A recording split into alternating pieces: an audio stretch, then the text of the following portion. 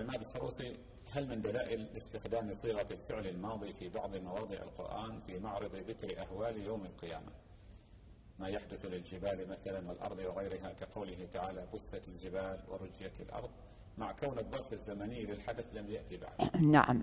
هذا لأجل تحقق الوقوع ف وتقريب هذا الأمر حتى يكون كأنه وقع وشوهد رأي العين. سؤال آخر له أيضا.